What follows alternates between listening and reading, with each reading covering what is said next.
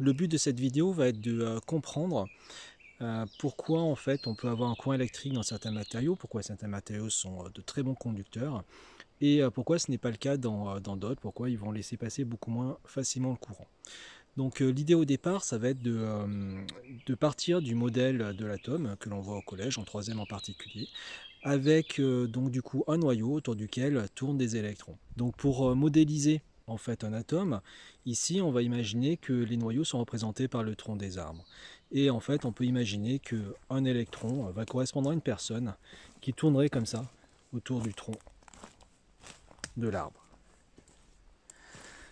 Donc il faut imaginer en fait euh, voilà, des personnes qui tourneraient autour des troncs euh, des arbres qui sont, euh, qui sont en face de nous. Ce qui va se passer en fait naturellement dans un matériau, c'est qu'à un moment, un électron va pouvoir se trouver à mi-chemin entre euh, deux euh, noyaux.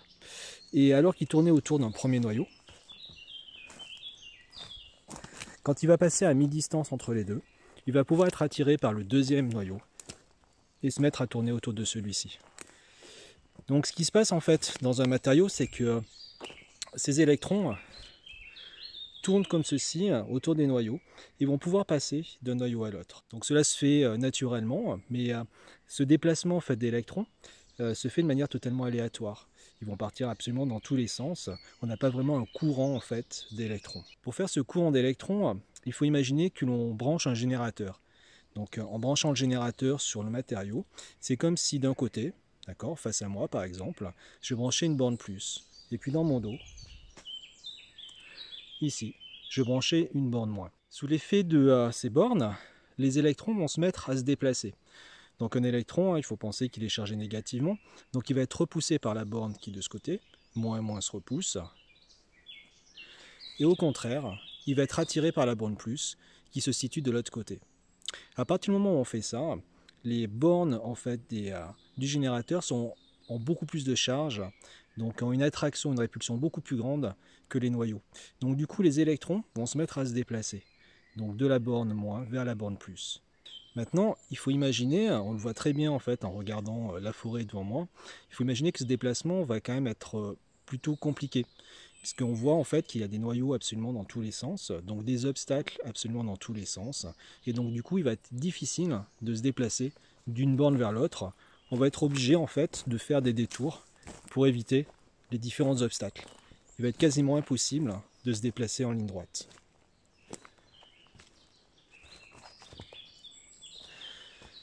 Donc voilà, ça, ça correspondrait à un matériau qui n'est pas un très très bon conducteur. Le chemin, en fait, à suivre par les électrons est assez compliqué et donc coup, le courant ne va pas pouvoir passer très très facilement. On va maintenant voir une autre situation où euh, le courant va pouvoir se déplacer de manière beaucoup plus facile. On se retrouve maintenant dans un bois qui est euh, totalement différent, où on voit en fait que euh, les arbres ont été plantés en suivant en fait des rangées parfaitement rectilignes. Et euh, cette structure, en fait, dans ce bois, correspond vraiment à ce que l'on retrouve dans euh, un métal, dans un conducteur d'une manière générale. Les atomes sont disposés dans des plans parallèles et euh, il va exister, comme là, des sortes de couloirs dans lesquels les électrons vont pouvoir se placer très facilement. Donc si on raisonne comme dans l'autre bois, en imaginant que voilà, un, ce bois est un morceau en fait de, de conducteurs, on imagine que l'on branche un générateur avec une borne moins par exemple en face de moi, et puis euh, derrière moi, une borne plus.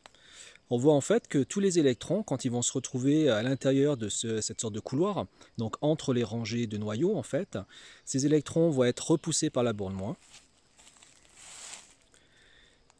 et vont être attirés du coup vers la borne plus. Du coup, ils vont se déplacer sur ce couloir en direction de la borne plus et on voit en fait qu'il n'y a aucun obstacle pour les empêcher de passer. Donc du coup, avec un même générateur, le courant électrique va être beaucoup plus important que dans l'autre bois, c'est-à-dire que dans un matériau moins bon conducteur. À l'aide de cette comparaison, on peut euh, préciser deux choses. D'abord la notion vraiment de courant électrique, c'est-à-dire que là, il faudrait imaginer que les électrons euh, donc, euh, passent d'un noyau à l'autre de manière totalement aléatoire, c'est-à-dire que même s'il n'y a pas de générateur, les électrons vont se déplacer à l'intérieur du matériau Mais certains vont partir vers la gauche, d'autres euh, vers la droite, d'autres en face de moi, d'autres derrière moi. Donc ils vont se déplacer un petit peu dans tous les sens. La notion de courant électrique, elle est liée au fait que tous les électrons vont se déplacer en même temps. À partir du moment où je vais mettre une bande moins en face de moi et une bande plus dans mon dos, bah, tous les électrons euh, vont être attirés en direction de cette bande plus. Donc ils vont former un courant d'électrons qui vont tous se déplacer dans le même sens. C'est ce que l'on appelle un courant électrique. On pourrait comparer ça avec la notion de courant d'air. C'est exactement la même chose dans l'air, en fait, les molécules se déplacent absolument dans tous les sens, sauf que dans certains cas, elles peuvent se déplacer euh, toutes dans le même sens. C'est euh, dans le cas du vent, par exemple, ou euh, quand on parle justement de courant d'air. Donc on retrouve cette notion de courant, c'est-à-dire de particules qui se déplacent toutes dans le même sens. La deuxième précision que l'on peut faire, c'est par rapport à la notion de résistance. La résistance électrique, c'est une propriété des matériaux qui indique, plus cette résistance est élevée, qu'ils empêchent le courant de passer. Donc dans un conducteur, la résistance est très faible, et dans un matériau moins conducteur, elle sera plus élevée. Et en fait, on peut parfaitement euh, comparer ça avec euh, la circulation ici dans ce bois, où on voit en fait que l'on peut circuler facilement sans obstacle.